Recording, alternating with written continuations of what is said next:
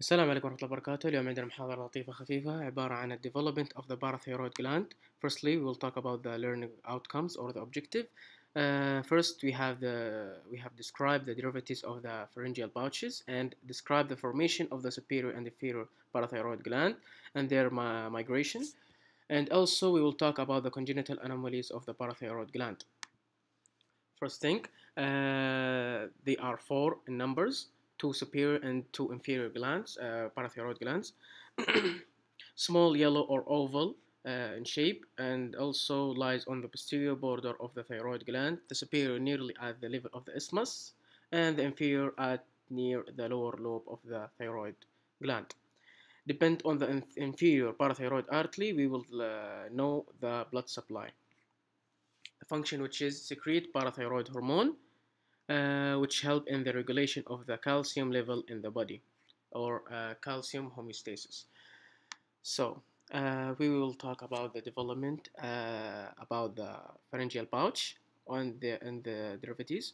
First pouch, mostly we'll talk about the ears and the cavity in it. So the first pouch will develop the tympanic cavity and mastoid antrum and the inner surface of the tympanic membrane. Uh, uh, as I said, uh, it's mostly about the ears. This is the primitive tympanic cavity, and this is the auditory tube, the external audi- auditory tube. This is all about the first pouch.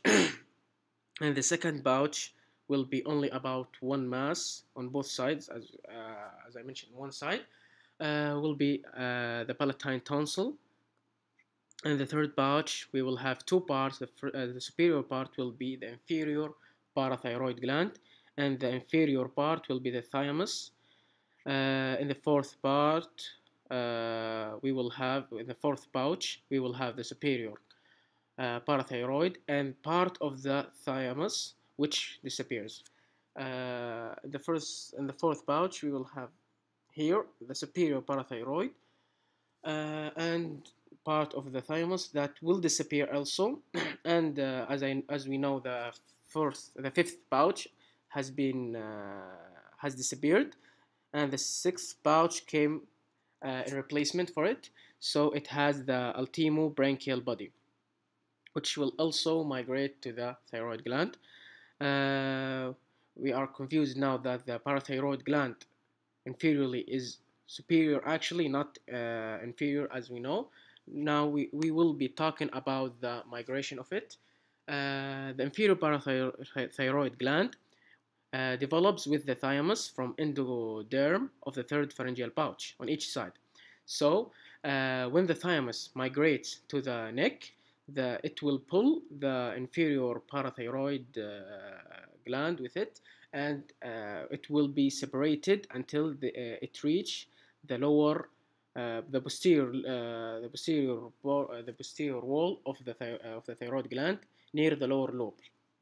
So the thymus on each side grows inferiorly in the neck and pulls the inferior parathyroid with it, so that it finally comes on the posterior surface of the thyroid lobe near its lower pole and becomes completely separated from the thymus gland. This is for the inferior parathyroid gland. Now we will talk about the superior parathyroid gland develops from the endoderm in the fourth pharyngeal pouch and it loses their connection with the pharyngeal wall when it loses the connection with the pharyngeal wall, uh, it descends, taking up their final position on the posterior aspect of the thyroid lobe at the about level of the isthmus, as we said before. Uh, the, par- the superior parathyroid gland uh, it migrates uh, by itself, not as uh, the inferior parathyroid gland, which will be uh, with the help of the pulling from the thymus gland. So we have here. And about the ultimo branchial uh, body. Here is we have a picture.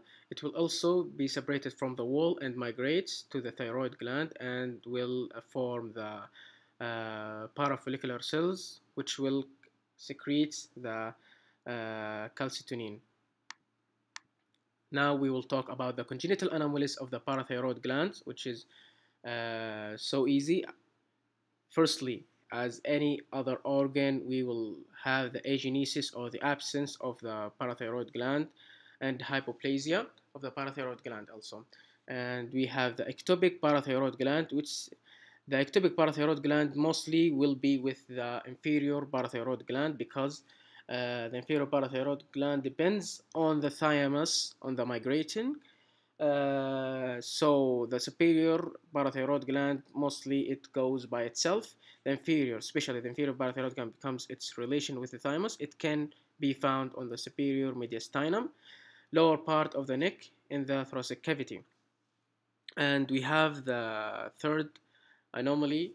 Uh, abnormal number of the parathyroid gland may become more or less for the gland. If it is more we will call it uh, as the book human uh, development says uh, super numerory parathyroid gland which is more in number of parathyroid glands probably result from division of the primordia of the original gland. Thank you and that's all what we have